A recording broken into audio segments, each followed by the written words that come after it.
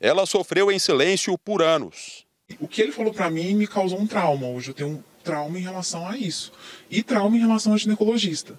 Tanto que eu tive vários problemas ginecológicos, hormonais, né, depressivos, transtornos ao longo desses anos que agora eu entendo claramente o quanto isso me afetou. Segundo a mulher, que prefere não ser identificada, o responsável por tanta angústia é o ginecologista Fábio Guilherme da Silveira Campos, de 73 anos de idade.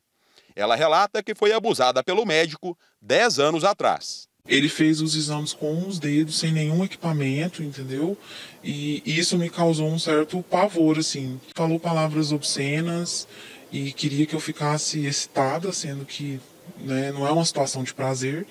E isso me incomodou muito, foi aonde eu pedi que ele parasse. A mulher conta que conhece outras cinco vítimas do ginecologista e que a administração do CIAMS Novo Horizonte sabia da conduta do médico, mas não tomou providências. As funcionárias sempre defendeu ele, né, sempre insistiu para eu ir na consulta com ele. Então eu vejo isso como uma omissão. A vítima diz que voltou ao consultório outras duas vezes, mas não permitiu que o médico a tocasse.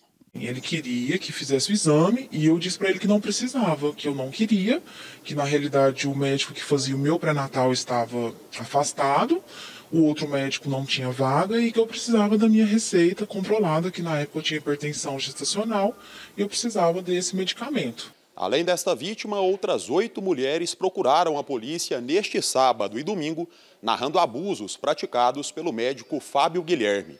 Os casos vão ser investigados para apurar a existência de crimes por parte do profissional, que já é alvo de dois inquéritos. Nesses inquéritos, quatro mulheres já foram ouvidas, duas delas na qualidade de vítimas.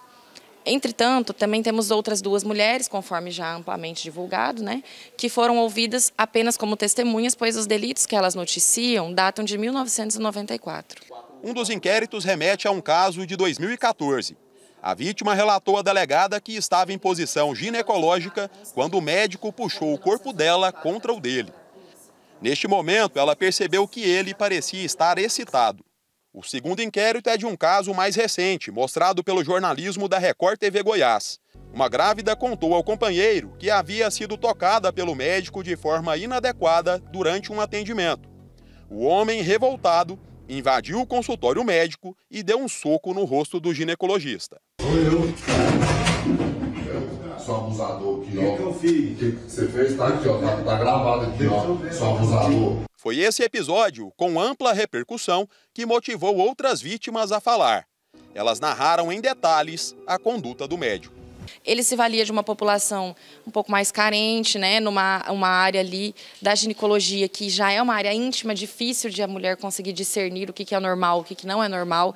Então, ele as fazia entrar nessa narrativa de que era um exame padrão, mas que ele sempre tinha algum teor é, inapropriado. O médico está preso desde a última quinta-feira. Ele optou pelo silêncio durante depoimento. Em 1994, ele já havia sido denunciado por duas mulheres ao Conselho Regional de Medicina, mas os casos foram arquivados. A delegada faz um apelo para que outras vítimas procurem a delegacia. Segundo ela, os casos anteriores a 2011 prescreveram, mas ainda assim o relato das mulheres abusadas é fundamental. Então, os tribunais eles já estão acostumados nesses crimes a lidar com a palavra da vítima versus a palavra do autor. E já é, já é jurisprudência no Brasil que a palavra da vítima tem especial relevância. Então, as mulheres não precisam se sentir desmotivadas, porque a, a Polícia Civil investiga com seriedade os fatos por elas narrados e elas têm que se motivar e se encorajar Pra, pois a punição dele, eventual condenação, depende do maior número de mulheres que procurarem a polícia. O que, que você espera que aconteça agora com esse homem?